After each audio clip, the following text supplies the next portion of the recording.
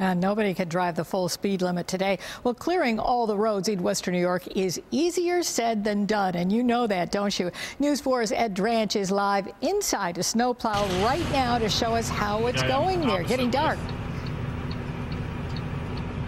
Oh, yeah, it's getting dark. We're actually under an underpass right now, Jackie, because the folks who are behind us in the several plows that are behind us are trying to clean off their windshields. Let me show you what exactly we're dealing with right now. I'm here with my uh, snowplow driver from the state, Rob. Rob, you can wave How again. He says hello. Uh, he's again driving the snowplow on all these roads that are okay right now. He says there's some icy conditions under all the snow that's being plowed right now, so drivers want to be careful.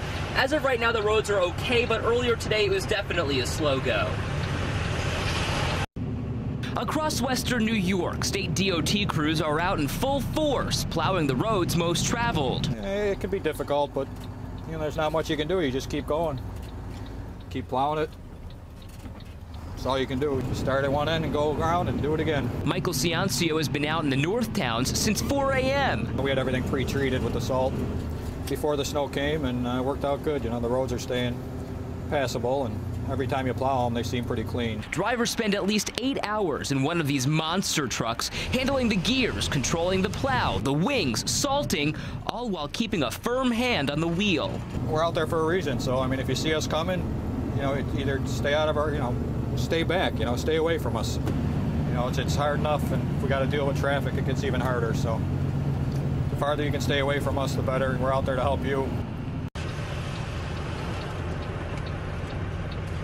And the snow is definitely lighter in nature than it was this morning, but still these snowplow workers like Rob, who's driving this truck again, parked under the underpass so that the other crews can wipe off their windshields, uh, had to deal with this morning. So again, heed caution, make sure that you are driving slowly and safely, and keep a safe distance between you and the snowplows so that they can do their job, make sure that you are safe on the roads. We're live at UB, right on Millersport Highway. Ed Drantch News 4 at 530.